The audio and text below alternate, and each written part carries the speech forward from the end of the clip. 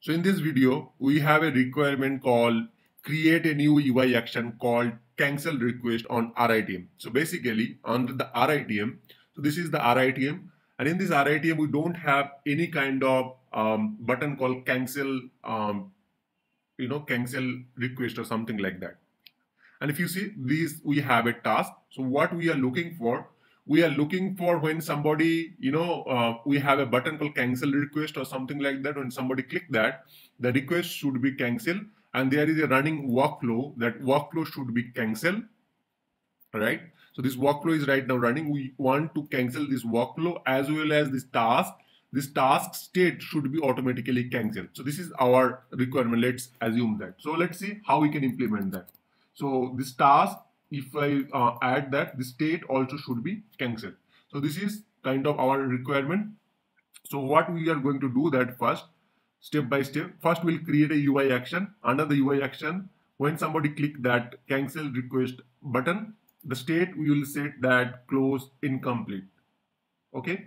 And then after that, the running workflow, whatever is running, will cancel that. And then um, we'll check that that after canceling the workflow that um, task state is automatically getting cancelled or not. If not, then we'll manually update the state equal to cancel. So this is our requirement. So let's build that.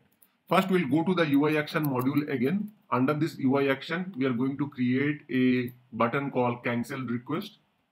I'll click new and then here I'll say the cancel request the table name will be under SC request table because this button should be visible under SC request. So we'll select that SC underscore request.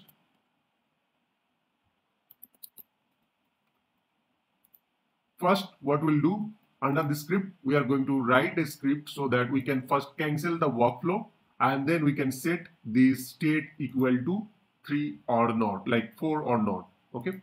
To cancel the workflow, this is the workflow which is running so to cancel the workflow, again, this code can be implemented anywhere in a different, different situation. Like you want to cancel through the business rule or any kind of thing, you can use this code. But in this scenario, uh, we are going to use this uh, workflow cancellation method. So first we are going to cancel the workflow. To cancelling the workflow, first we are going to use the var, then wf, maybe for workflow, and then we are going to call the workflow API. So to call the workflow API, we are going to use the new then workflow. So this is the workflow API. After that, what we will do, we will use the wf dot cancel method. So using this wf underscore dot cancel function or method, we can cancel any particular workflow.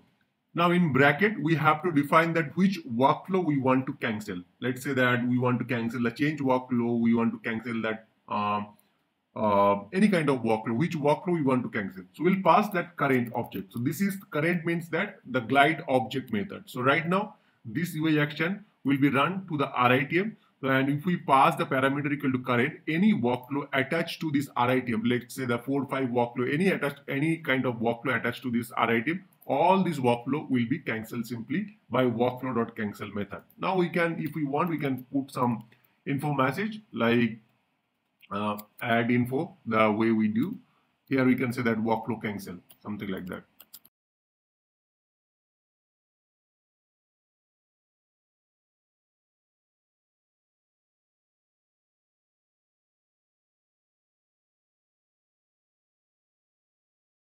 We have to select that form link or form button, anything. I'm just selecting the form link at that moment. The table will be SC REQ item. I select the SC request. So table will be SC REQ item. So it, it should be under requested item. Let's save that one more time.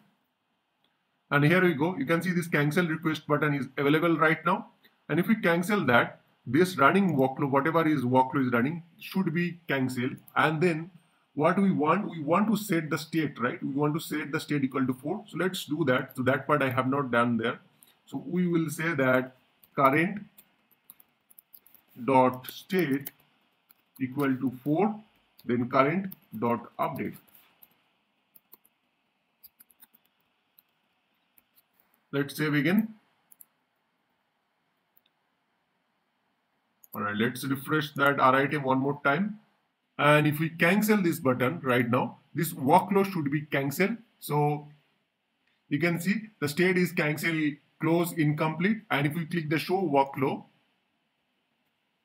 this workflow got cancelled through my uh, UI action. So that's it for today. If you have any question, let me know in my comment section. Thank you very much. Have a great day.